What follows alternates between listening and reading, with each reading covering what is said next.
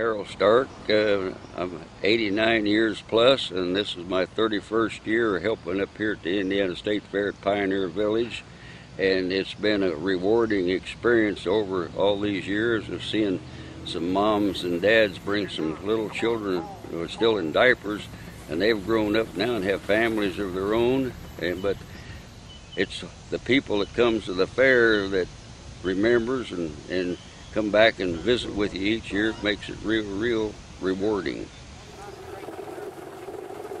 What we're showing them here today is where this country has advanced and progressed from hard manual labor prior to World War I or after the Civil War, all the way up through the Industrial Re Revolution. To what we have today, what the kids today are enjoying is byproducts of the space age my grandfather, my mother's father, raised his family on an 80 acre farm down in Rush County, and uh, the farm only had about uh, 50 acres of it tillable. The rest of it was Little Blue River run right through the middle of it.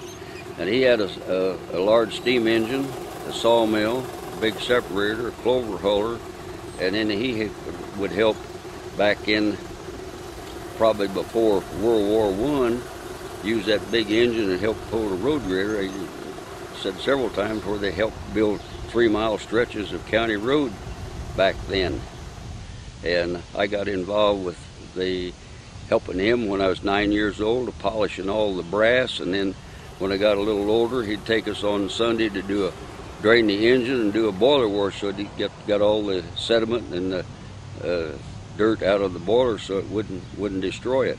I learned, started, started in it at that age and then studied it. I built this engine. Uh, first one I built a small one inch scale and I had an uncle that was real good on steam and he said, Bud, why didn't you build one we could ride on? And I thought that was a good idea and I went home and started making uh, prints and sketches out of a 1909 catalog and then I found a full-size engine and took measurements off of to finish it. So I built that engine in, from started in 1974 and finished in 79. And I built it as a memorial to my grandfather and all of my uncles, and I had two other individuals was important in teaching me everything about steam and mechanical engineering.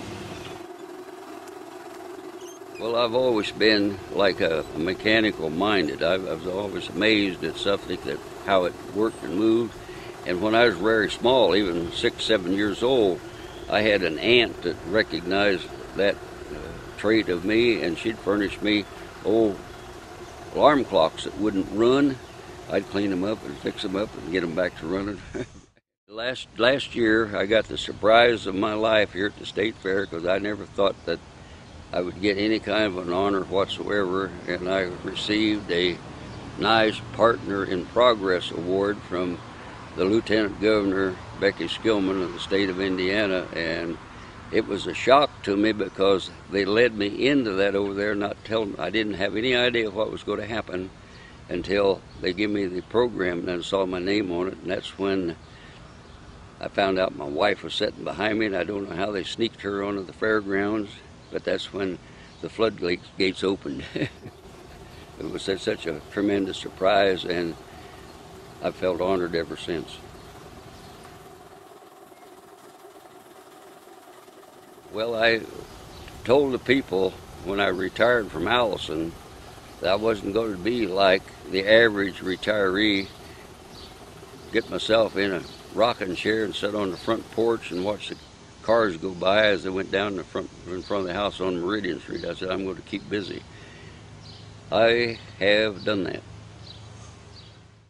Well, the, the proudest uh, part of me and being involved with the state fair is how I have been able to work with some of the younger ones and repair the equipment so that the future generations can enjoy it for quite some time to come.